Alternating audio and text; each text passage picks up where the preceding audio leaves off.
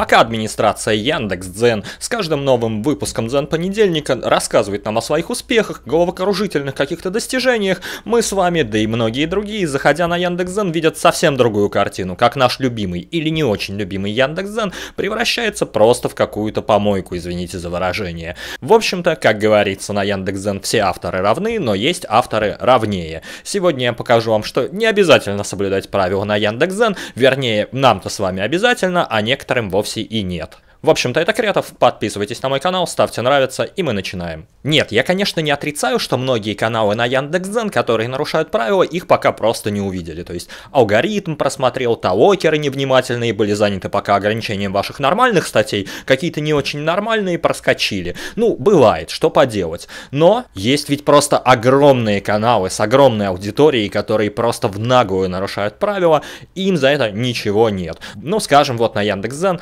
прямым текстом там прям в правилах прописано, что запрещен кликбейт. Это когда в заголовке есть какая-то недосказанность, когда заголовок вводит в заблуждение, когда заголовок не соответствует тематике статьи. В общем, листаю я свой любимый Яндекс.Зен и вижу вот такую вот картину. Такая вот статья мне попалась каждое воскресенье. Муж ездил к ребенку от первого брака, жена умилялась, пока не узнала одну деталь. Жена не узнала одну деталь. Какую же деталь? Нужно зайти и посмотреть. Разве это не кликбейт? Статья у нас расположена на канале, который называется Марена Марана. Если зайти на сам канал, то тут, конечно, не найти кликбейтных заголовков. Вернее, тут такой очень спорный контент, вполне себе рассчитанный на определенную целевую аудиторию, который, в принципе, имеет право на существование. Сам канал не то чтобы прям плохой, но я бы такое читать не стал. Я не знаю, многие, наверное, стали бы читать.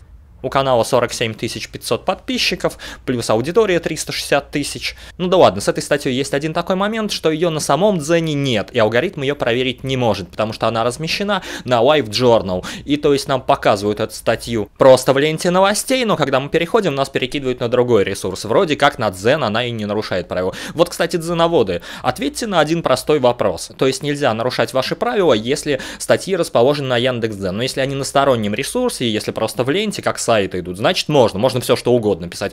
И шок-контент, и трагический контент, и кликбейт, и контентный спам, это все проходит нормально, да? Я верно понимаю? Ну ладно, чего это я пристал к бедной Марене Маране, хотя, наверное, она не бедная, ну да ладно. А давайте посмотрим других авторов, которые на данный момент совершают самое страшное преступление на Яндекс.Дзен, контентный спам. Если кто не знает, то за контентный спам просто банят навсегда. Контентный спам это такая вот информация, вернее такие статьи, которые повторяются от одной к другой. Все эти бабки, коллекторы, там, особенно если... Я в одном из прошлых видео рассказывал, что гарантированно можно получить контентный спам, если какую-нибудь старую бабу... Да это даже на Дзен понедельнике говорили. Старую бабушку поставить на превьюшку к статье и рассказать какую-нибудь слезливую историю. Так вот, контентный спам это когда это вот эта слезливая история повторяется, а меняются в ней только действующие лица. Раньше вы спасали кошечку с дерева, потом собачку спасли где-то, и, в общем-то, такие статьи набирают очень много, но за них банят. И у меня даже как-то заблокировали канал со сказками, когда я начал писать про историю про бабушек. Три статьи я успел выпустить, но некоторым все ни по чем. В общем-то, я, как говорю, уже можно списать все на то, что канал незаметный, но давайте посмотрим, такой ли он незаметный. Попалась мне тут на днях вот такая статья. Называется она «Старушка увидела, как внук подсыпал ей что-то в чай и незаметно поменяла кружки. Внук упал со стула, сделав один глоток. Среднее время дочитывания 5 минут, 18 тысяч прочитали, нравится тысячи. Как я уже говорил, тут у нас на превьюшке вот такая вот бабушка слезливая. Если пролистать вниз статьи, то что мы увидим? Мы увидим, что есть реклама. Реклама и сбоку есть, и здесь есть, и то есть статью эту читают, в комментариях кто-то что-то пишет. Ну, правда, тут комментарии такие вот, что за бред мы все читаем, и 378 лайков у него. Ну да ладно, что это у нас за канал такой? Канал называется «Психология души». «Психология души» поболтаем с вами на различные темы психологии. В общем, если пролистать, тут у нас дедушка после бабушки идет, надоело за ним подгузники вносить, увози его куда хочешь, орала она. Муж посадил деда в машину и повез многоточие. Ну, то есть, ну, как бы это явно контентный спам. А, смотрим. Тут у нас про помидоры на канале, про психологию. Ну да ладно, точки, кстати, в конце заголовка не ставятся, если что.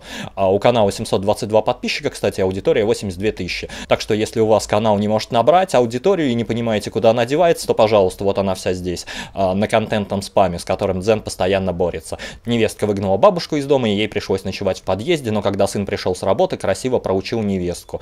А, ну, одно и то же, бабушки. Тут у нас дальше про торт на сковородке, Мужчина вернулся с работы, но увидел в квартире незнакомого парня, присмотревшись, хозяин дома побледнел. Окей, 10 законов благодарности. Ура, у нас есть одна статья по психологии на канале про психологию. Круто. А это у нас что? А это у нас вот такая статья. Голодная малышка жива у листву, прохожая, увидев это, решила забрать ее в дом, а придя в дом, увидела шокирующий репортаж, многоточие с двумя точками. 17 а, тысяч прочитали, 6 минут среднее время дочитывания, 601 человек поставили нравится. А, давайте посмотрим, реклама есть, а, да, реклама есть, статью долго читаю, да, она действительно длинная, реклама в самом конце. Это уже было на Дзене с небольшой разницей, здесь у автора ребенок живет листву, додуматься же. Да, такого на Дзене было уже очень много. Ну, то есть за это как бы раньше банили на Яндекс.Дзен. В общем, действительно у нас идет к успеху канал «Психологии души». В общем-то, я надеюсь, что авторы данных каналов меня простят за то, что я им раскрыл всю малину и показал вот это вот на всеобщее обозрение. Ну, как бы они и писали это для всеобщего обозрения. Ну и как бы тысячи лайков, которые там поставлены, скорее всего, говорят о том, что этот канал многократно видел и сам Дзен, и его там лучшие менеджеры, и талокеры. Но почему-то вот реклама там как стояла, так и остается, никуда она там не делась. Вот. И, собственно, это претензий у меня к этим каналам никаких вообще нет. У меня претензии к Дзену, который пишет в правилах одно, а потом по факту их сам не исполняет. Ну то есть как не исполняет? Берет новых авторов и блокирует их. Другим же почему-то можно все. И кликбейт, как вы убедились, и контентный спам, как вы убедились, причем вот таких каналов с контентным спамом, их довольно много. Некоторых я не спорю, заблокировали, меня самого заблокировали, вы можете сказать, что вот тебя заблокировали, поэтому ты и бесишься, поэтому ты решил отомстить, всем завидуешь. На самом деле нет. Я, кстати, с канала, который с контентным спамом, удалил весь контентный спам, оставил сказки, э, вроде бы все нормально, отправил на проверку. Мне, кстати, до этого писали, что мы вам даем один шанс, как бы за контентный спам банят всегда, но мы вам уже обещали, и поэтому вот проверим. Проверили и сказали, что я не прошел проверку. Если что, я об этом рассказывал в видео, в подсказках его прикреплю, посмотрите, ну, если интересно.